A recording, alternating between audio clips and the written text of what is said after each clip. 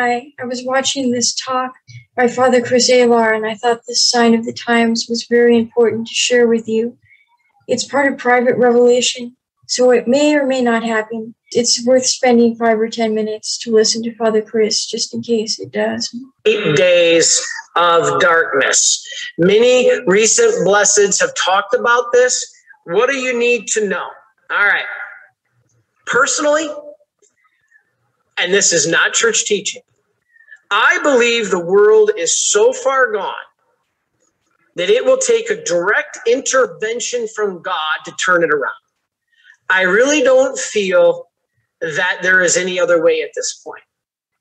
The world and the Pandora's boxes that have been opened legally, culturally, socially, I don't think you can ever put them back in the box. I don't think we can ever go back to the truth in terms of the laws that we have and the way that we are going unless there is a direct intervention from God.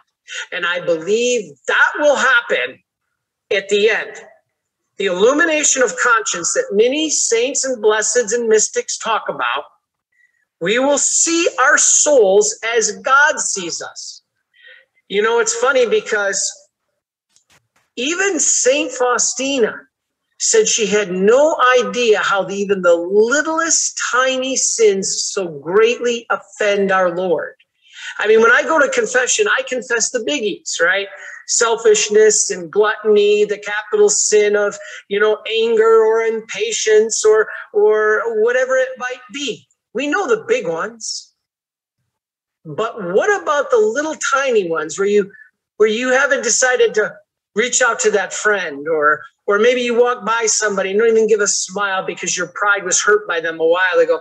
We don't think about that. Well, I'm in the right there. Well, our Lord is telling us through St. Faustina that even those little things are greatly hurtful and offensive to him.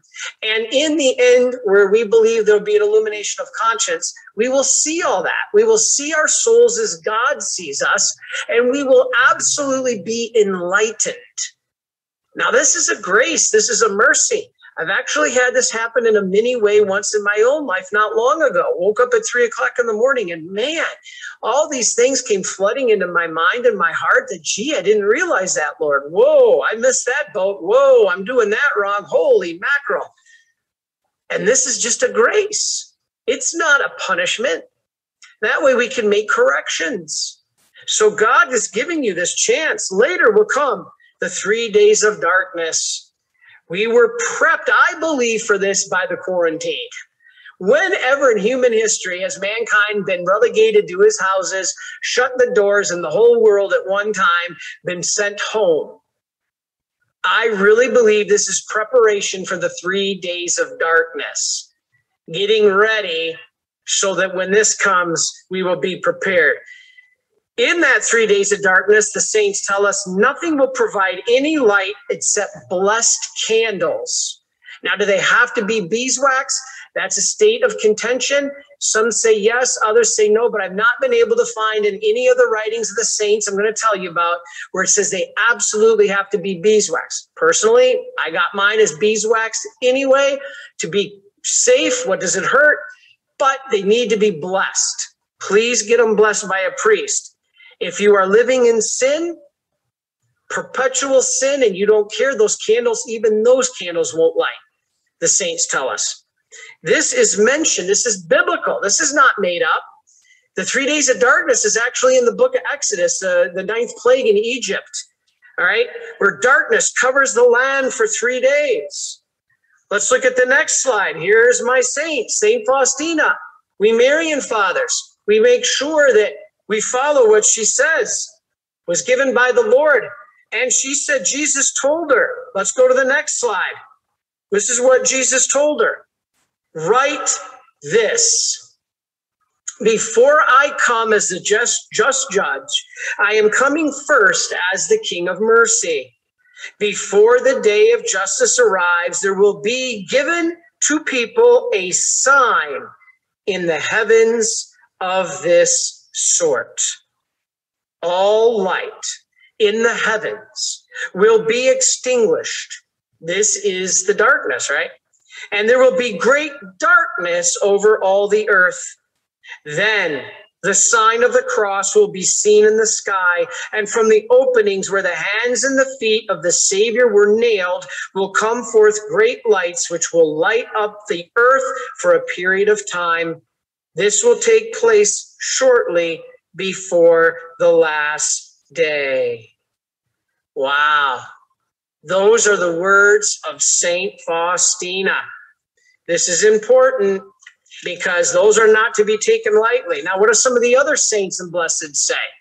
All right, in 1820, a, a, a mystic by the name of Blessed Canori Mora prophesies that horrible chastisements will come when, quote, the sky was covered with clouds so dense, the dismal and dismal, that it was impossible to look at them without dismay.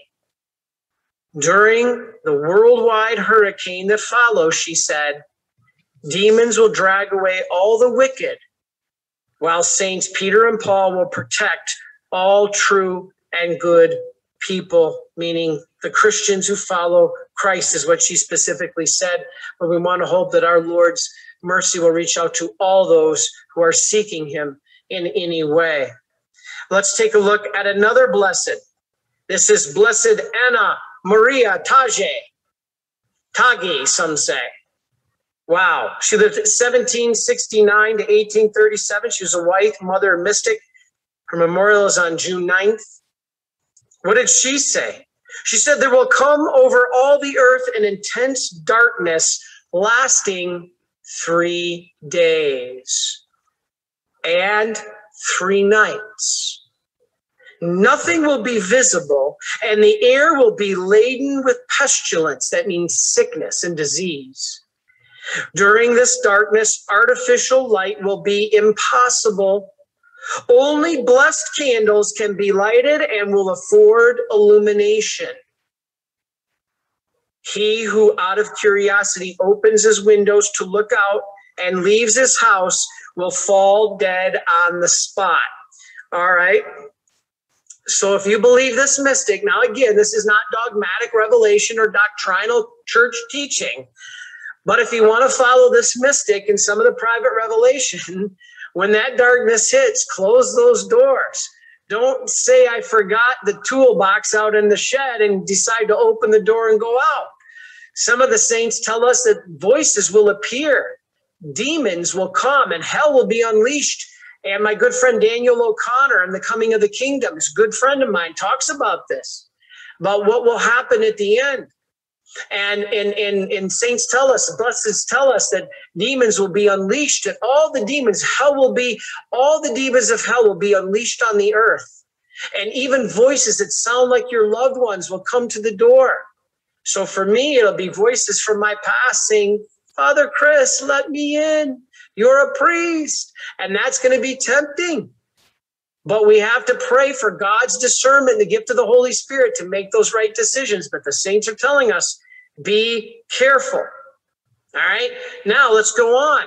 Even Medjugorje. The next slide. We see here Medjugorje. Here, each Medjugorje seer is supposed to receive 10 secrets. We know there's been an update now on some of this, that at least some of which involve prophecies of global chastisement.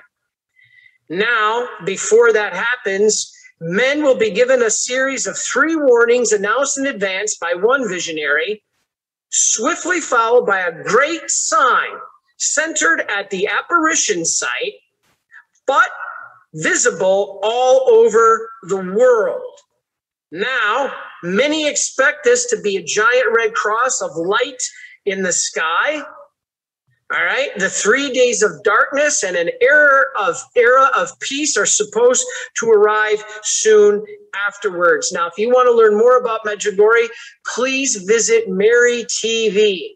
My good friends, Dennis and Kathy Nolan, and others who work behind the scenes there. They have the only broadcast from Medjugorje and the sites of the apparition, and they're constantly viewing and bringing us what Our Lady is saying and the messages of Medjugorje.